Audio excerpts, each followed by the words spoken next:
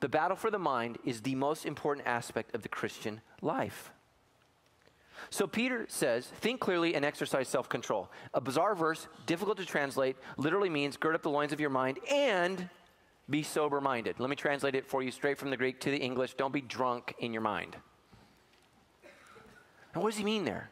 What he means is, you've got to think clearly. In order to do this, you need all the current faculties that God has given you operating correctly. You don't want anything shadowing your mind. You don't want anything clouding your mind. You don't want anything rendering your ability to do what you know you should do at all. You don't ever want this. And this is why Christians should never, ever be drunk or stoned. Ever. Ever. Okay? You don't want this because when you're drunk, when you're stoned, your brain does not operate correctly. And let me tell you, I, have been both drunk and stoned in my life, and nothing good ever happened. Nothing good. You know what my problem is? My problem is my greatest strength it's my mouth. It does wonders for the Lord. And when I'm an idiot, it is a curse from the devil, man. I hate my mouth, you know? When I was young, you know, 140 pounds, had a couple beers, you know, when you weigh 140 pounds, a couple beers, you might as well drink a keg. And my mouth would get going. I say, hey, buddy, hey, 350 pound mean guy, right here, 135. Let's go. Let's go.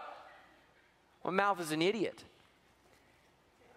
You know, I mean, even in the context of marriage, man, I will never have more than, man, a beer or two, even with dinner around my wife when we go out to dinner. Let me tell you why.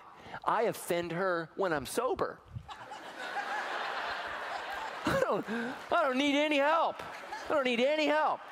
We want the date night to end good, not with tears and separate cars, right? It's not what we want. And, and the reason for that is when my mind is clouded or shaded, my tongue gets loose. And I don't have the faculties to, you know, pull that back in. It just it just gets stupid. And so what happens is I need to make sure that I'm sober minded all the time so that I can exercise self control and I can't allow myself to be shaded or shadowed. Okay? That's why, as Christians, anything that intoxicates us is not okay. Doesn't matter if it's drugs, doesn't matter if it's alcohol, doesn't matter if it's prescriptions. We need to make sure that we have our faculties together so that we can be who we are.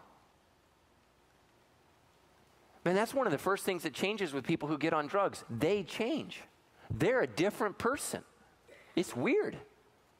It's weird. And by the way, in the New Testament, the word for witchcraft in the Greek is pharmakeia. Guess what word we get from that in the English? Pharmacy. Think about that.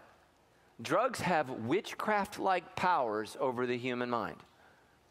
Think about that. You've got to think clearly because, I mean, some of you right now, you don't agree with me at all. Because your mind is clouded, your judgment has been misled, and you don't yet understand or agree with the truth of Christ you're still operating in a clouded manner.